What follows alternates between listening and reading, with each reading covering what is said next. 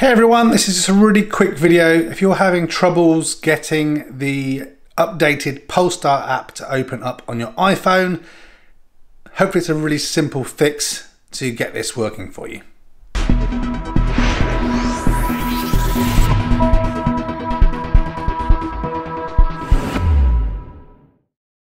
Okay, so I want to thank Dennis Durkee. Sorry if I got your name slightly wrong for mentioning this uh, on the official Polestar community Facebook page.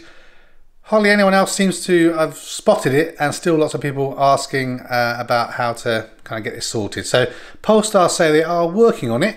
However, there seems to be this little odd fix that worked for me and seems to work for a few other people.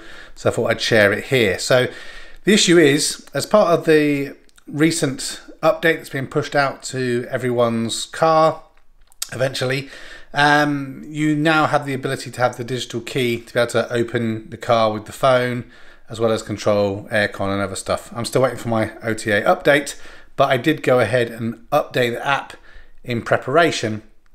However, then the app would open, but as soon as I logged in, it would just crash.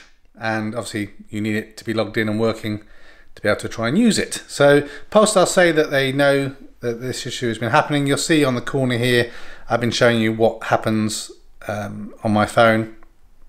But basically, fixing it seems to actually be really super simple. It's some issue with uh, the clock format. So I have mine in 12 hour clocks so AM, PM. If you go into the settings, change it to 24 hour clock, then open up the app again. And then this time it allowed me to go all the way in and worked without crashing.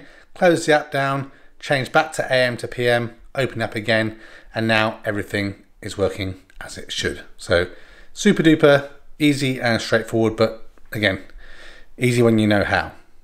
So I hope this video helped. Please consider liking it, be really appreciated. Helps YouTube know more people, know more people, tell more people about this video and the channel. Please consider subscribing, hitting the notification icon, and of course, leave any comments and feedback uh, in the comment section below. And uh, I'll keep you in touch.